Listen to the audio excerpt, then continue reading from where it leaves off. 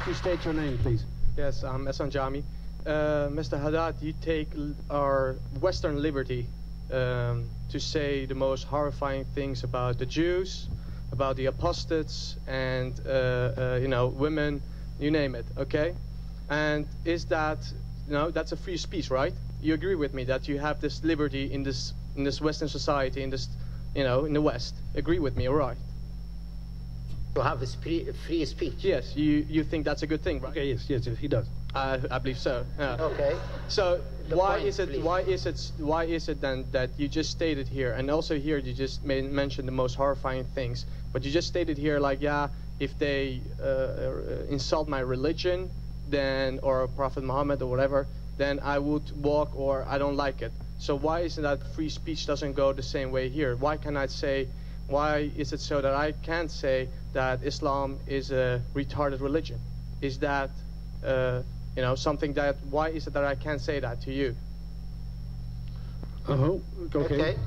Yeah, I, I- I think with, I think with all due respect, this is not an intellectual discussion because if I say to you, if I insult your mom,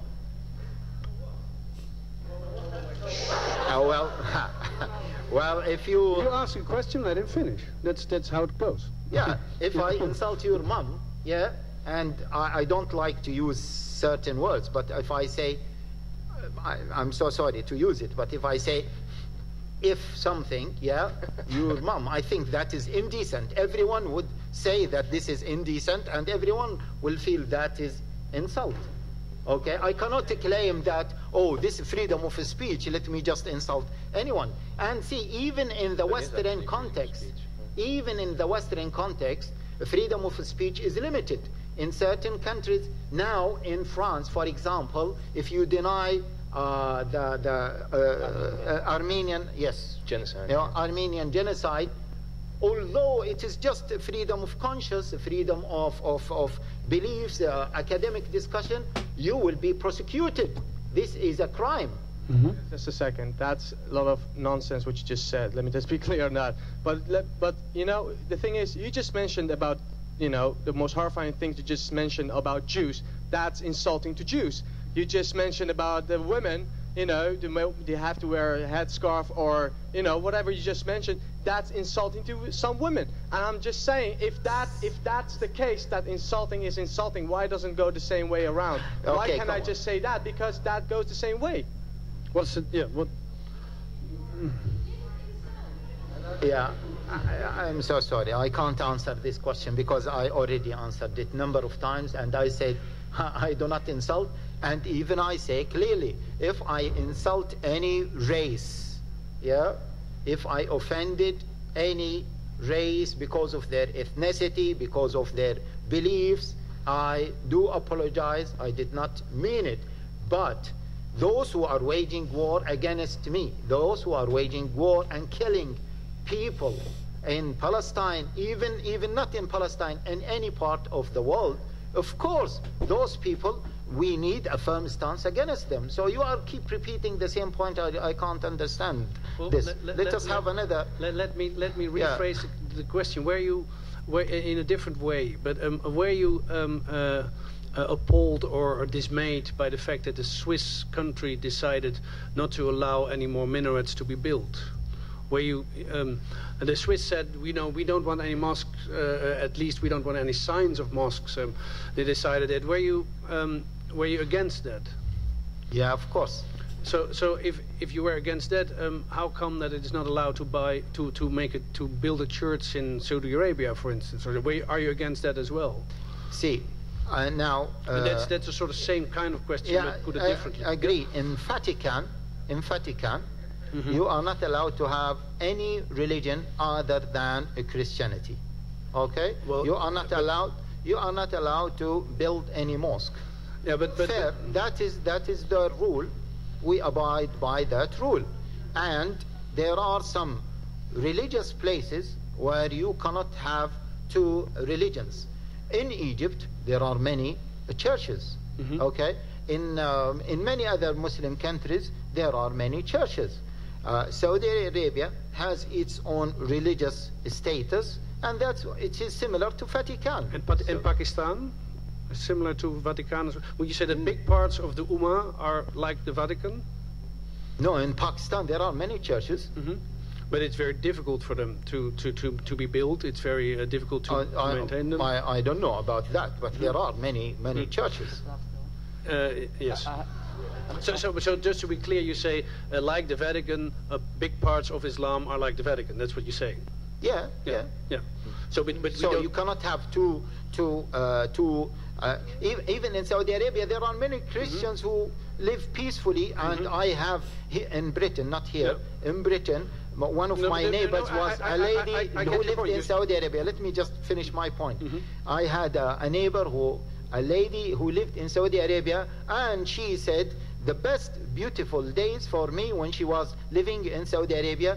And she said, I understand why they ban women from driving, why they are. I'm sure that there are people who understand. But, yes, but, but you're, Uh, you're saying that, that it's a theocracy.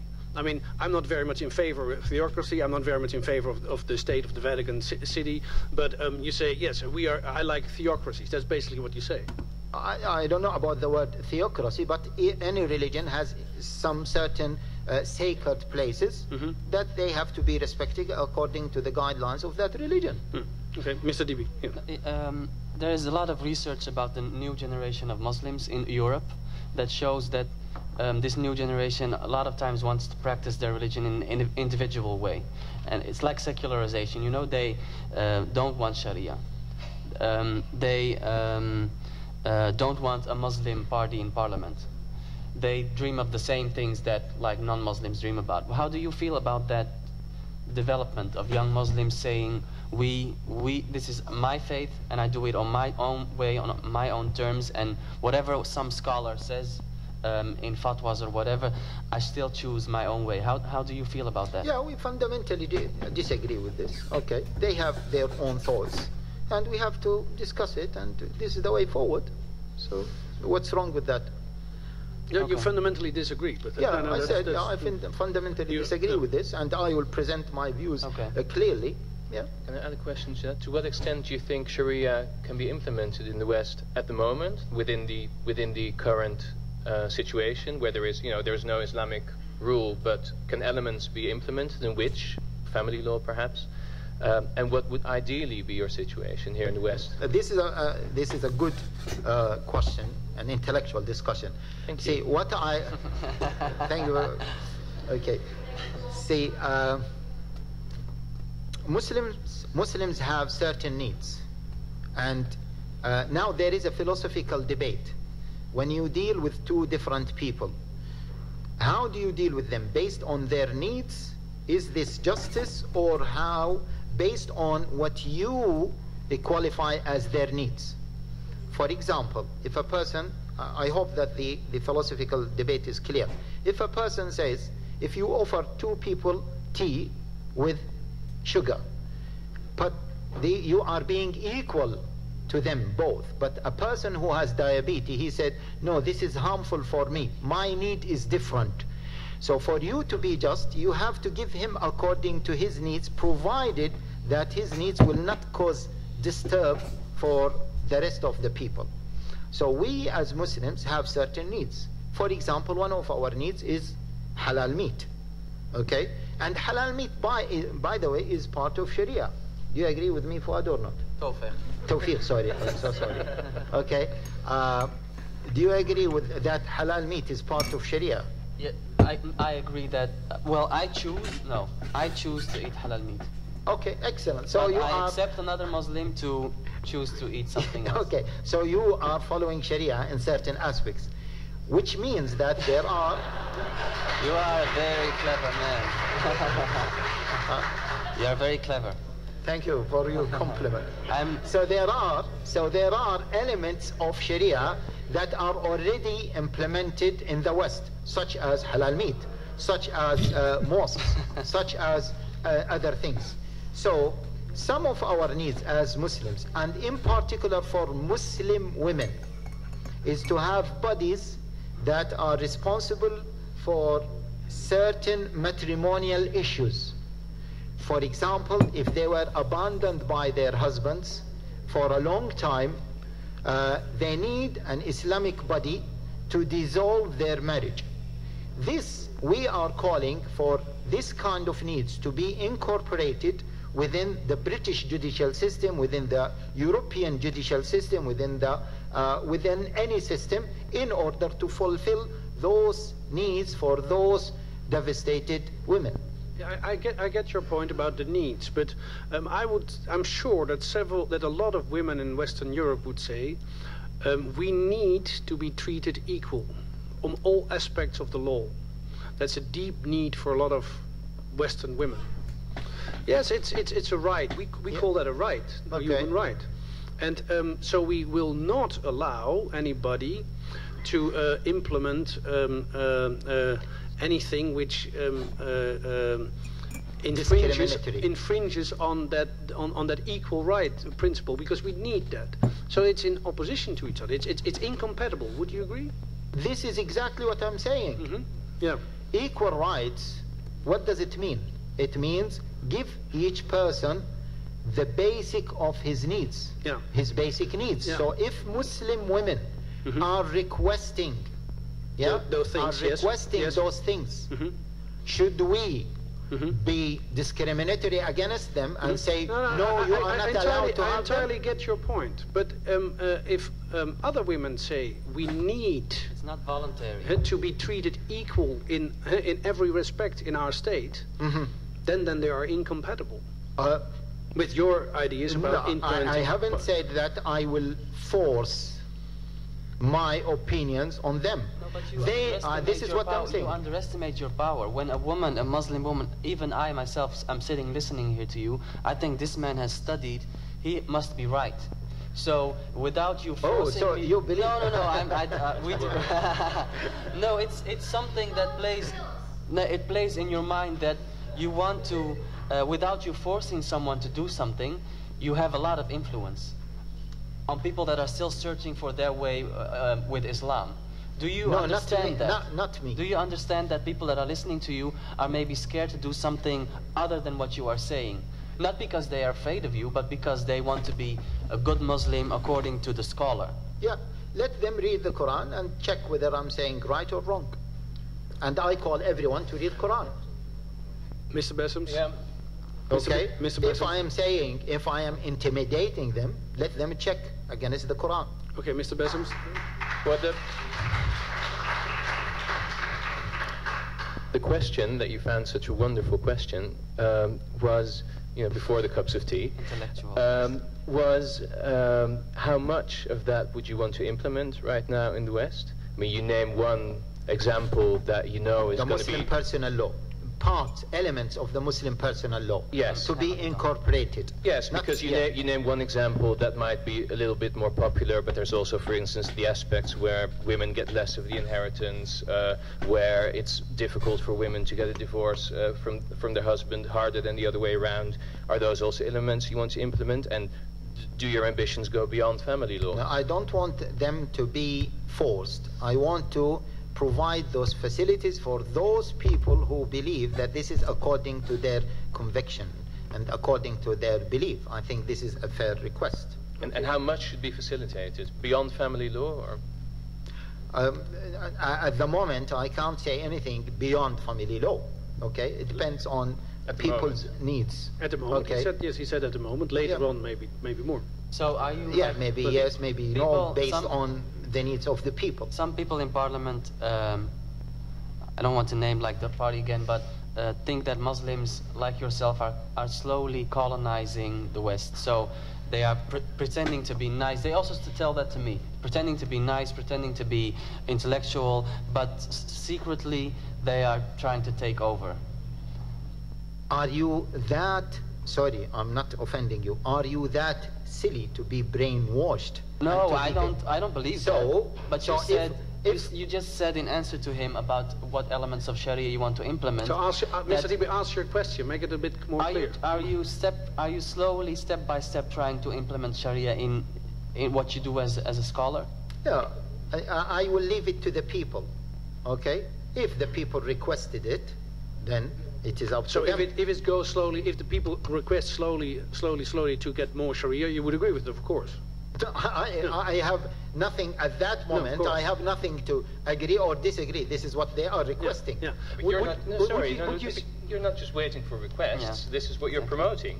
This I mean, is a, and it- this is I promoting. Yeah. Yes. This is I promoting within those devoted Muslims because they are requesting for that. This is one thing. Yeah. I, I'll be even more.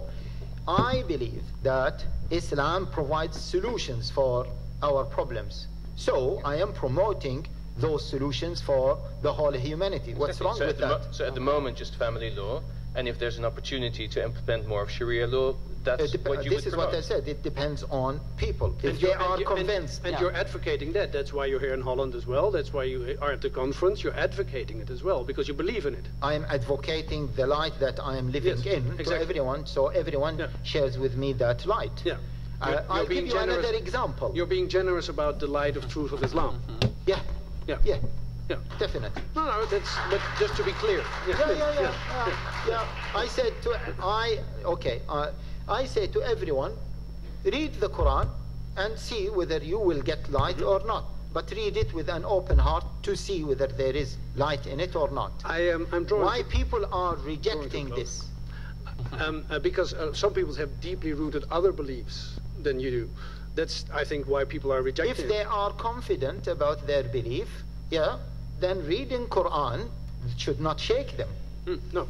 Uh, uh, if they are confident about what they believe. no, no, most, most probably not. Um, students. Um, uh, um, uh, uh, I'm drawing to a close. Um, I want to thank the audience. I want to thank the press around here. I want to especially thank you three behind the table. I think we had a very interesting debate. I want to thank you for being here. For No uh, uh, um, this was not easy for you because there was a lot of questions to you, and you don't. Um, I, at least I think you don't have all the answers to it. I think we had a very interesting evening because we saw that we deeply disagree about things. I think we heard a lot of things where a lot of people would deeply disagree uh, with each other. Uh, you just said, um, uh, frankly, that yes, we do fundamentally disagree on uh, uh, on on certain Number of uh, issues, number yeah. of things. I think that is interesting as such. I think uh, I need to thank you all three very, very much for what, for making it able to talk to each other in this way. Um, And I- this is the way forward. I am. Uh, I'm not sure whether I, I'm sure that it's the way forward to talk to each other. I'm. ve- I am personally very sure that I disagree with a lot of things you said. Uh, the stoning thing, I Yeah, can't. this is- I, I, I, I can't get my head around. I, appreciate this. And just to finalize, I appreciate that many non-Muslims might not understand and maybe might not appreciate many things that Islam says. Muslims I, and non-Muslims. There are also Muslims. That yeah, yeah, and there are there are some Muslims as well. I appreciate this, yeah, and that's why I call everyone to read Quran and to see where we are coming from. This is one thing. I, I, thing- I just understood that Quran is coming from uh, the from the Christian scripts and the Farsi scripts and, and that sort of thing. But maybe you probably won't agree with that. But that's what I just read in a new No, book. that, is, not- that is not the case. And the other thing, that, and the other thing is, uh, I would like to ask one question. Sure. Yeah. Sure. Which is, can anyone, or why don't we think why Islam is the fastest growing religion despite the media negative negativity about it? Why is it? I, that- if, you ask, if you ask me, I would. if you ask me, Why- I would give you an answer to that. Sure. Okay. I think it's because it's waging war on every on, on every uh, fringe of Islam. if people are accepting Islam, people are accepting Islam out of their own choices, even in Western countries, even in Israel itself. Women are the most people to accept Islam in Britain, in many Western countries. If Islam was wrong, if Islam is giving the wrong answer, why is it the fact that Als je een Islam is the fastest growing religion in the world, despite that, despite the negative media uh, picture that it portrayed about it. Do you want to give an answer to that question, or, or Well- because I want to close now? But No, just I just wanted to say that ultimately it's so reassuring that it's not going to be about who's a Muslim and who's not. Ultimately, it's going to be about the fact that people who want individual liberty, Muslims and non-Muslims, is going to be such, uh, you know, it's such a strong force, um, and uh, we shouldn't be worried about you know who's Muslim and who's not. In the end, people will decide for themselves. and Yeah, yeah, not, of course, Not listen to you per se. Yeah, yeah. Thank you very much. Thank Okay, you. I would like just uh, apart from the, this, I would like to uh, thank Holland for hosting me. I really appreciate the Dutch society, so irrespective of our differences. I uh, please put this in in, in, in media. I really no no because I'm worried about cut and paste. Yeah, this is what, and that's why I would like to say that if I w- was misrepresented in media or I was called radical clerk or extreme clerk, then I would like uh, I would like to seek uh, a legal advice regarding this because this for me is blasphemy. So I would like anyway I would like to uh, thank really Holland for its hospitality, the Dutch people for their hospitality, and uh, despite our differences, thank you very much. Thanks for everyone.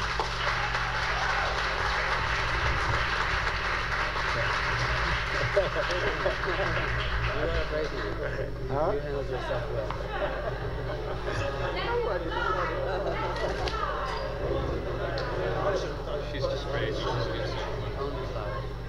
Okay. Thank you. Thank you very much. I'm so sorry. Filmen, filmen. This is Islam? No, yes, sir. I, I don't. I don't think that's against anyone in particular. Thank you, thank you very much. for, for coming again. I think you're, I think you're, I agree with your bravery. Yeah, and your uh, and your and your a good um, uh, talk. Uh, how do you say orator?